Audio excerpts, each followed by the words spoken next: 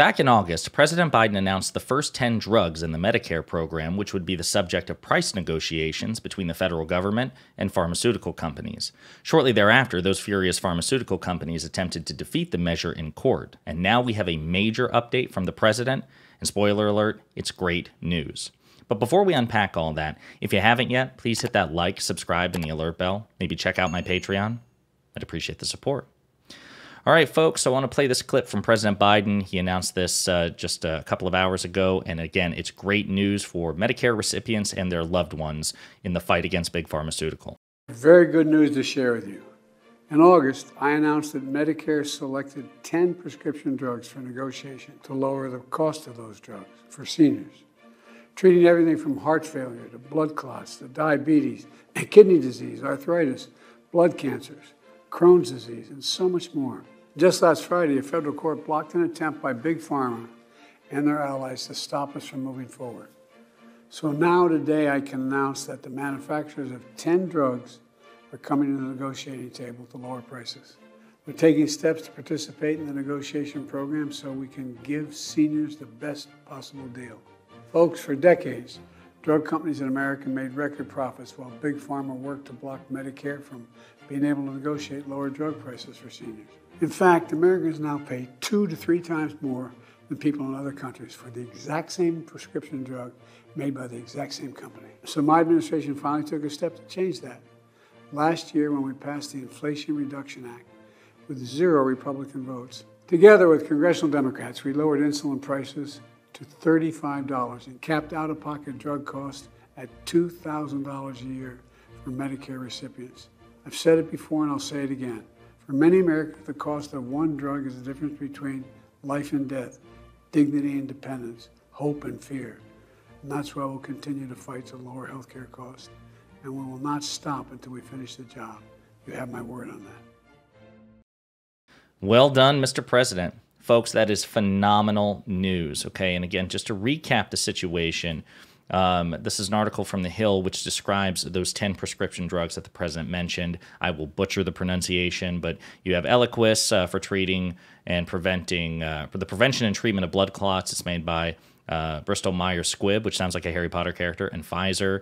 Uh, the prevention and treatment of blood clots, reduction for risk of patients with coronary or peripheral artery disease. Janssen Pharmaceuticals, uh, Entresto, which treats heart failure. Uh, it's made by Novartis uh, etc. and so forth. Novolog, which treats diabetes, it's made by Novo Nordisk. Okay, these were among the ten prescription drugs uh, that were again the first. Right, it's not this. It does not begin and end here. This is the beginning. The first ten drugs, which are subject to price negotiations, and it's also been reported that again, in the aftermath of this court decision, and even before, once it looked like it was going to be blocked, these pharmaceutical companies signaled that they would, in fact, be coming to the negotiating table. Uh, all 10 manufacturers of the drugs selected for Medicare price negotiations will be participating, the White House said Tuesday. Even as many of them are currently suing the administration in an effort to halt the process, many of the companies told The Hill separately ahead of the October 1st deadline that they would participate. Uh, the White House confirmed this news in the announcement, which we just discussed. Um, and they point out that last year, 9 million Medicare enrollees spent 3.4 billion billion in out-of-pocket expenses on the selected drugs from those companies. Okay, in part of the statement, this wasn't in the video, but for decades, Big Pharma fought to block Medicare from directly negotiating lower drug prices for seniors and other Medicare beneficiaries. Sorry, I just had a brain lapse there. President Biden and congressional Democrats finally beat Big Pharma and allowed Medicare to directly negotiate lower drug prices by passing the IRA, the Inflation Reduction Act. And as the president pointed out, and I'm glad he pointed it out because it's very important, this is, was only made possible, literally only made possible by President Biden and congressional Democrats in the Senate and in the House of Representatives. Republicans get zero credit for this. Not 5% credit, not 1% credit, zero. And we should ruthlessly point that out at any time that Republicans signal that they played a role in it. They get no credit for this. All the benefit comes exclusively uh, thanks to the hard work and diligence of the president and Democrats, which goes to show as we head into an election year the stark differences between the two parties. I mean, the difference is manifest in a variety of areas, like it's a multi-dimensional, you know, situation here. But again, as I've made the case that when it comes to being a responsible governing party, and producing a material benefit for the American people, Democrats are the only game in town. They're vastly superior in all ways to Republicans. It's not even close.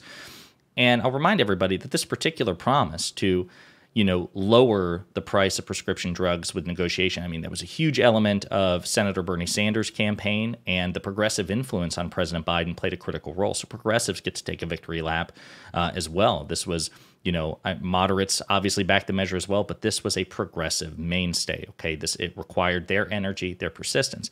But what's interesting is even Donald Trump back in 2015, 2016 campaigned on the idea of lowering prescription drug care by allowing Medicare to negotiate the prices. Even Trump recognized that because he was campaigning on a, a populist message, even though he was doing it from you know a far right perspective. And I just want to remind you of this. Okay, Medicare. So we're the biggest drug buyer in the world. We buy drugs to make people better. All of that's fine. But we don't negotiate the price of the drugs. When it comes time to negotiate the cost of drugs, we're going to negotiate like crazy, folks. So that's what he said to earn people's votes. Okay, that's what he promised. But at the end of the day, he failed to deliver. Not only did he fail to deliver, he gave up the promise uh, in the first few days of his presidency after he was inaugurated. As the Democrats' official Twitter page points out, Donald Trump talked, Dark Brandon delivered. And the contrast could not be starker. So, again, to those of you out there who are on the fence for whatever reason, or you know people who are on the fence for whatever reason about the difference between Biden and Trump, Democrats and Republicans, you need to point to this because this would not have been possible under the Republican Party.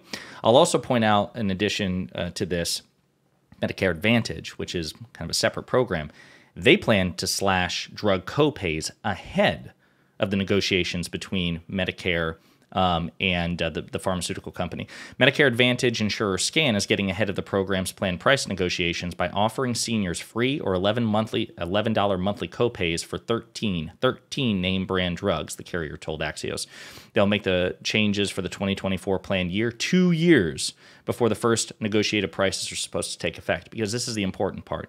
The one downside to this phenomenal news is that the effects of the price negotiations between Medicare and the pharmaceutical industry won't go into effect for another two years, right? Still great because it's coming, but it's two years down the road. But President Biden's actions and the actions of the Democratic Party have actually prompted Medicare Advantage to slash copays on their own volition because they, they recognize what's coming. So they're getting ahead of the game and they're doing it two years in advance. So this is going to benefit people in 2024, folks. This is phenomenal stuff. We don't have to wait for the government. We can have the rigor uh, and figure out additional ways ourselves, as Sharon Jhawar, Sharon Jhawar, Scan's chief pharmacy officer, said in an interview. Again, phenomenal news, which once again, you know, illustrates one of the many, many, many stark contrasts between a competent, responsible governing party in the Democratic Party and the clown show, the cultish clown show that is the Republican Party. So, again, spread the word. Uh, that way, we can remind people that if you really care about benefiting yourselves and your loved ones and your neighbors and your society, then you should vote blue in the next election, no matter who.